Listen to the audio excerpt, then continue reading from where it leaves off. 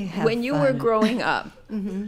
Being now being biracial is all the rage or multiracial. At the time, it was a stigma, even though the foundation of our country is miscegenation, but unacknowledged. Yeah. It was very difficult for It you, was. and you were You too. taunted. You were told you're not black, you're not white, you're nothing. You're How did your mother help you process your sense well, of identity? You know, the thing about escaping into a world of art is that you come through the world where people actually do love each other because of who you are. Mm-hmm. When you're in a, brought up in a world of art, you don't really see that color barrier unless you're in a business world. Mm-hmm.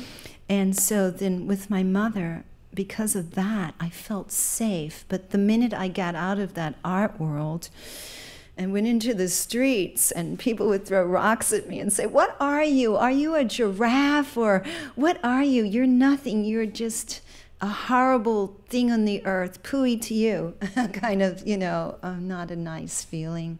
And then you don't know what you are. Where were you when i was a child? I should, I should have known you. But What- anyway you just sort of try to blend in and you don't really fit. But then sometimes people with big hearts accept you into their tribe and you feel at home and you know you're loved somehow somewhere what did your mother tell you, though, about how well, she told me that yourself in the it was world. very difficult for she and my father to be together. It was almost, it was not permitted that a man from Sweden and a young lady from Georgia of color could be together and walk in the streets hand in hand. Mm-hmm. It was a, it was a, against the law actually. It was, I'm against the law. Well, until it's like what I came out as is not you're not allowed.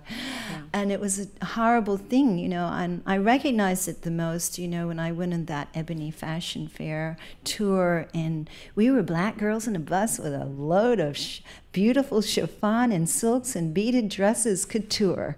And we were down in the deep south and it was just something that you know, I knew about because my mom went on the march, you know, with Martin Luther King, mm-hmm. and I wasn't allowed to go because it was very dangerous. And mm-hmm. but while we were down there, some girls got shot in a church, and we were on the road, and you know, it was just scary.